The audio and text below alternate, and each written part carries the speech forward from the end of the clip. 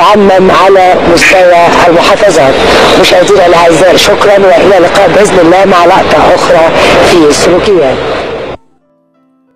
توفيت مساء الجمعة الإعلامية المصرية الكبيرة ملك إسماعيل متأثرة بإصابتها بفيروس كورونا المستجد كوفيد 19 ونعى المجلس الأعلى لتنظيم الإعلام بمصر الراحلة. وأكد أن مصر فقدت إعلامية كبيرة ورمزا من رموز الإعلام المصري والعربي. وتعد الإعلامية ملك إسماعيل واحدة من الجيل الأول في التلفزيون المصري وتركت بصمة واضحة خلال مشوارها الإعلامي وذلك على مدار أكثر من ثلاثون عاماً. عملت خلالها مذيعة ربط وبرامج وتقلدت الراحلة عدة مناصب منها رئيس القناة المصرية الأولى مستشار ونائب رئيس التلفزيون كما يحسب لها أنها كانت من أوائل المذيعات اللواتي نزلن بكاميرات التلفزيون إلى الشارع لرصد القضايا الاجتماعية.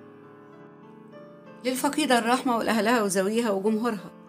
الصبر والسلوان. عزيزي المشاهد إذا أول مرة بتشاهد قناة ثقافة ومعلومة لا تنسى لايك واشتراك في القناة. مع تفعيل الجرس ليصلك كل جديد. مع أجمل ورق تحياتي وتحية أصل الثقافة. ومعلومة.